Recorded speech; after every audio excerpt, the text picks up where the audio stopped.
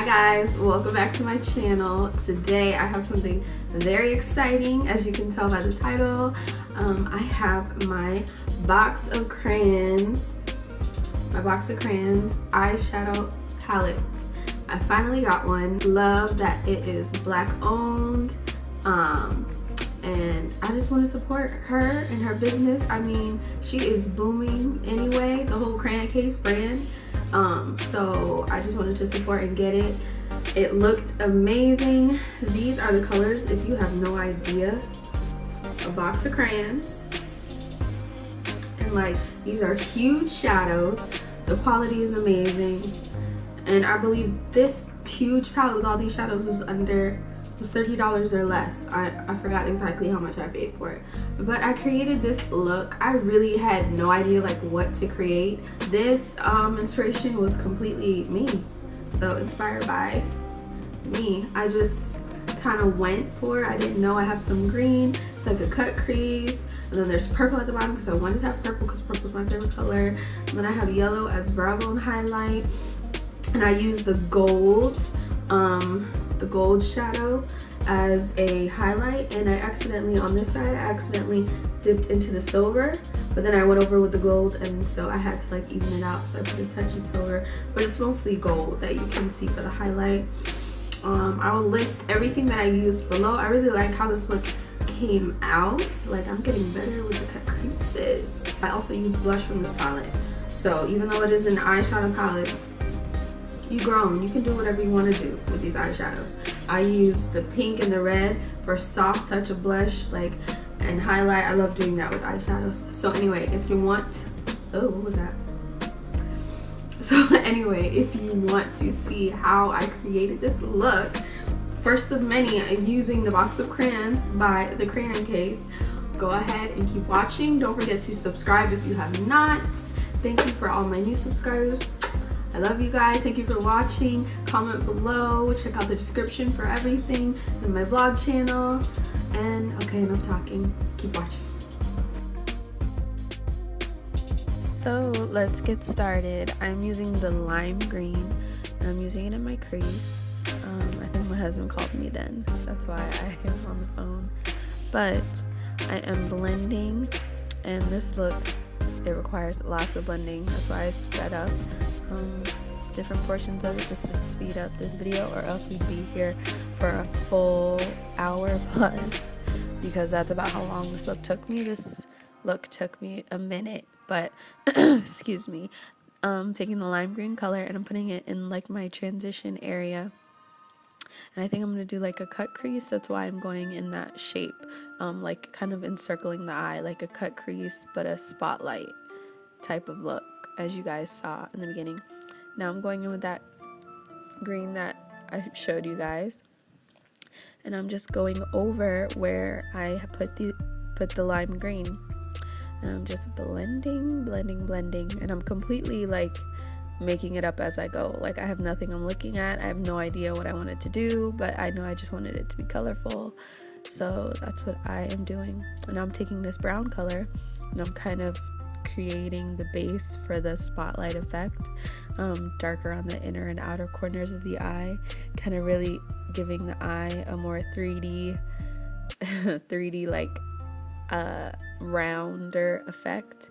Um, so the center is highlighted and it stands out more and looks more round and bigger.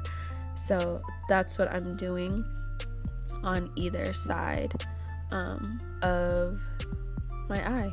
Well, both eyes, excuse me. Sorry for the background noise. It's storming and it's, it's just, there's just noise in the background. So sorry about that. So I'm just going back and forth blending. I would say this part took the longest because, and this was the point where I wasn't sure how this look was going. But now I took my white eyeshadow base by NYX and I am putting this down so the white color that I put really stands out. It's a shimmery white if you have the crayon case box of crayons palette too. You know their white shade is a shimmery, one of their shimmery shades. So I'm putting this white base down and, and then I'm kind of creating that shape where it's a little bit larger um, at the top but um, it kind of tapers and you'll see. I'm just perfecting the shape dancing a little bit, as you can hear. and then I am um, just really creating that shape that where it's I don't know how to explain it exactly, but now I'm setting that shape with um, the white shimmery shadow. Um, I'm just packing it on so I get it really vibrant. I sprayed my brush with my makeup setting spray. I'm just really packing it on and then trying to keep it really clean so it's a really defined cut crease. And I'm just going over it and speeding this up because I'm telling you this video would have been like two hours long. Speeding it up and um, packing the color on, really keeping that shape. So yeah, that's what I'm doing. And then you'll see in a second I take the brush where I used the dark brown and using it on the outer and inner corners, just kind of softening the transition from the white in the center of the lid to the brown on the sides. Um, and I just kind of go back and forth with those two just to make it a little bit softer, but still kind of um, keep that shape. And then I kind of tweak the shape so I can get it as even on both eyes and um, get the shape that I was kind of looking for for that. Um, and yes, blending. Blending is so important in this type of look. Bright colors, well, every kind of look, but I feel like in bright looks especially. And so now the next thing I'm going in with is the black and I'm kind of just pressing it on. I'm really not scared but really cautious because you can always add but you cannot take away. So I'm just going in really cautiously um, with black, slowly building it up. Um, and I just kept going back and forth just to deepen it a little bit so it kind of cooled down the warm the warmness of that brown that I had on first so just blending, blending.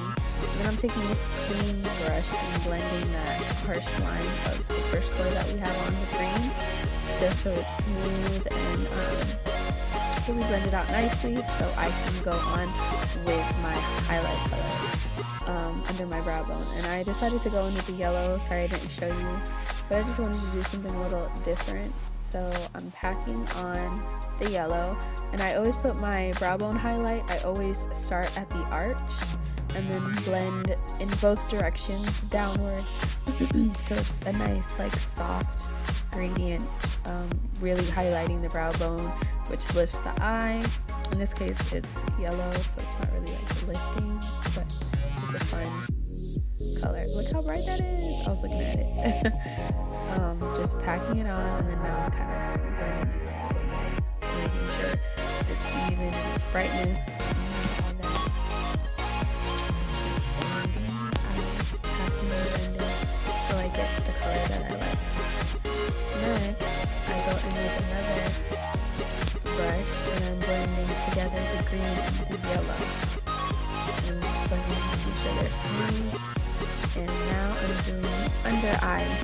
concealer because I want to put a bright color. Looking back now, I feel like I should have done white, but I'm doing a concealer that I, the same concealer I used to carve out my eyebrows and to highlight. Um, I'm packing that color, that concealer on as a base for the purple that I'm going with. And I know I'm showing you after the fact that I already have the purple, but I just wanted to show you. So I'm taking that same brush and kind of packing it on. And I really had to go back and forth with it because I should have got a different brush. So I was kind of clinging on to the concealer that was already on that brush. But this color is pigmented, so it was fine. I um, just went all the way from the inner corner of the eye to the outer corner under the eye. And the finished look, you can see I have lashes and I have bottom lashes as well because I really wanted this look to pop, you know. so um, yeah, I'm just packing this purple on, and then I go on to do the other eye as well. Pretty self explanatory. And I'm speeding it up because you guys get the picture with this. And you can do this with any color. I've done this a lot with a neutral eye at the top and then just a pop of color at the bottom. So now I'm just taking another brush and blending it out just softening it and I'm using this softer purple shade the violet shade I want to say to um, blend it out uh, I coughed on a little makeup setting spray, but here is where I'm gonna dance and go into the blush and highlight, and I'm using the eyeshadow palette. So for the highlight, I'm just dipping into the gold shade. So I'm highlighting the usual places I highlight, and then I go on to do my cheek, and this the, the shadow is amazing, a good highlight.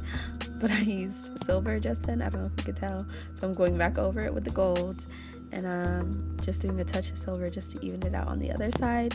But these shadows, I know she has amazing highlighters. I'm definitely gonna get me some, but using eyeshadow as a highlighter if you need to, you can definitely do. And I'm just taking a brush that I applied my foundation with just to blend it out. If it's ever harsh, there's a hard line where you put your highlight, you can go ahead and do that and that helps blend it out.